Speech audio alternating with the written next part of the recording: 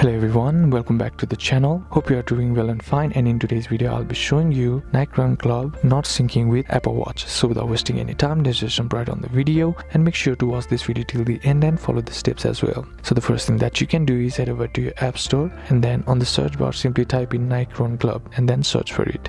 And once it loads, simply tap on the app and then check to see if the app needs an update or not. Sometimes the older version also might be causing the issues that you are facing, so just simply updating the app to the latest version will fix the issue. If that still doesn't fix the issue, then what you can do is go back to your home screen and then tap on the settings option or app. And once you're inside the settings, scroll down and then tap on general. And once you tap on general, here tap on the iPhone storage option. And once you're inside the iPhone storage, here what you need to do is scroll all the way down and then tap on the Nike Run Club app. And once you tap on it, here you'll be provided with two options that is offload app and delete app. And now all you gotta do is tap on this option that says offload app. Now what this does is it resets the app by clearing all the bugs and glitches which is present in the app that might be causing the issues that you are facing. And once that's done all you gotta do is go back and then restart your app and then try again. And that will fix your issue. And that's it for today's video guys. Hope this video was useful to you. Leave a like if it did. Comment down below what the next video should be on. Consider subscribing to the channel. Thanks for watching. Bye bye